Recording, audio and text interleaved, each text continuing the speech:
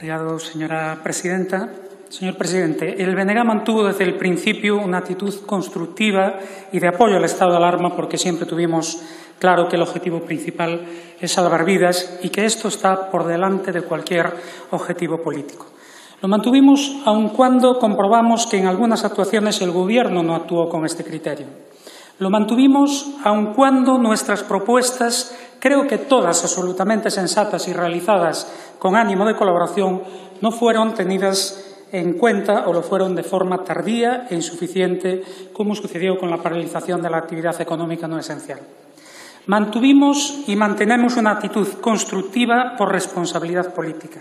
Y por eso avanzamos que estamos a favor de que sea prorrogado el estado de alarma para los próximos 15 días, porque nos parece necesario para acabar de controlar la, la pandemia y salvar vidas. Pero sabemos que hay maneras y maneras de hacerlo. Y en anteriores ocasiones pusimos de relieve que discordamos de la gestión que estaba realizando el Gobierno y de decisiones concretas como la centralización producida con el llamado mando único en Madrid y la usurpación de competencia de las comunidades autónomas. Y no ya por razones políticas, sino por razones sanitarias, por ser negativa para la eficacia práctica del operativo contra la pandemia. Fíjese ¿En qué estado colocaron ustedes la cuestión que frente a un gobierno de partidos que se dicen autonomistas e incluso en ocasiones federalistas que se empecina en centralizar, somos fuerzas políticas soberanistas que no defendemos el Estado autonómico porque nuestro objetivo es la soberanía de nuestras naciones, las que estamos aquí defendiendo las competencias autonómicas en nuestro caso, no los gestores, no los gestores, sino las instituciones nacionales de nuestro país de Galicia. Y si la centralización no tenía sentido en la fase de escalada, mucho menos ahora en la de desescalada. Los criterios marcados por el Gobierno evidencian el desconocimiento de la realidad en nuestro país, muy diferente a otros territorios.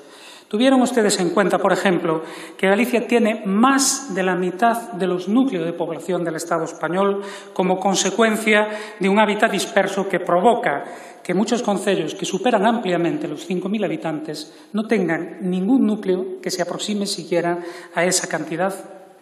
O que las provincias creadas en 1833 para reforzar el centralismo y que no responden a ninguna realidad social definida no tengan ningún sentido como ámbito de gestión?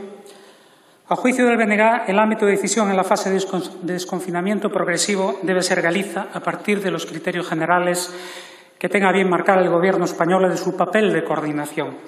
Tenemos una forma diferente de habitar el territorio que nunca entendieron en Madrid y que parece que este Gobierno sigue sin entender. Por eso presentamos una propuesta de modificación que esperamos que esta vez sea aceptada. Si así fuese, votaríamos a favor. Pero claro, y finalizo, vemos que en vez de dialogar y acordar con las fuerzas soberanistas y de izquierda que los estuvimos apoyando, prefirieron hacerlo con aquellos que hasta ahora incluían en la derecha ultramontana. En fin, ustedes escogen su camino y veremos a dónde conduce. En todo caso, el BNG no quiere obstaculizar la prórroga del estado de alarma y por eso, aunque no la acepten, nos vamos a abstener porque, insisto, discrepamos en el cómo, pero estamos de acuerdo en que el estado de alarma debe continuar. Obrigado. Muchas gracias, señor Rego.